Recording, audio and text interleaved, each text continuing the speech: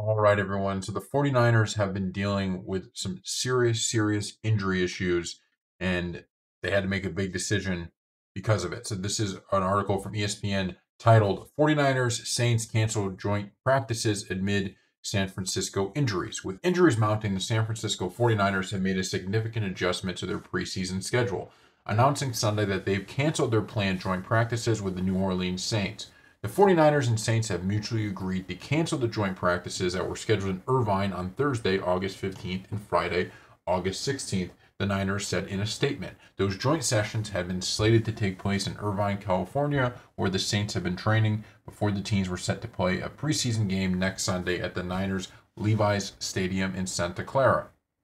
A source told ESPN that the driving force behind the decision was the numerous injuries that have plagued the 49ers during camp. A variety of soft tissue ailments have prevented multiple players from participating in practice for more than a week. When the Niners par- practiced Thursday, a whopping 23 players did not take part for various reasons. An injury hit again in their preseason oper- opener against the Tennessee Titans on Saturday night, with cornerback Ambry Thomas suffering a broken right hand that is expected to keep him out for an extended period. All right, so they had to cancel a joint practice after all these injuries they're facing, and this is a big deal. Now, certainly they can get healthy by the time the season's here, and you know we'll see if the trade with Aiyuk ever gets done. If it does get done, that's going to be a big deal. But I will say that you know this is a major year for Brock Purdy because Brock Purdy has has supporters, but he also has this large group of detractors who say he can't elevate his teammates, that he is only the product of a good team. And with all these injuries, this may be something that carries into the season.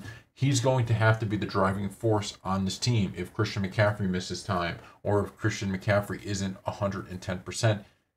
He has to, right? So we'll see if he's able to do it, but you got to feel for the 49ers. I mean, they really missed a big, big opportunity last season. Last season, they had every chance to win that Super Bowl. In the Super Bowl, they had a chance to win the game, and they just blew it. I mean, they're up 10. Patrick Mahomes throws an interception. You have the ball in the second half. You got to make plays to finish out that game, and they were certainly unable to do it. So, thank you all for watching, and we will see you next time.